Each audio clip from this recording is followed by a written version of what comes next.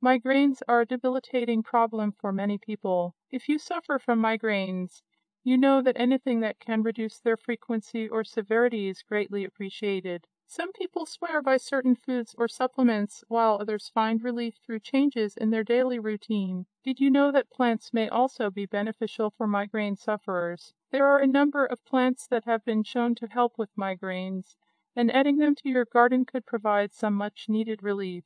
Keep reading for details on the best plants for migraine relief. For generations, people have used plants to treat a wide variety of ailments. Today, research is increasingly finding that certain plants can indeed have positive effects on our health. When it comes to migraines, there are a few different plants that may be helpful in managing this condition. Feverfew, for instance, is a traditional herbal remedy for migraines that has been shown to be effective in reducing the frequency and severity of attacks. Similarly, butterbur has also been shown to be effective in reducing migraine symptoms. Finally, lavender oil has been shown to provide some relief from migraine pain when applied topically. While more research is needed to confirm the effectiveness of these treatments, it seems clear that plants can indeed play a role in managing migraines.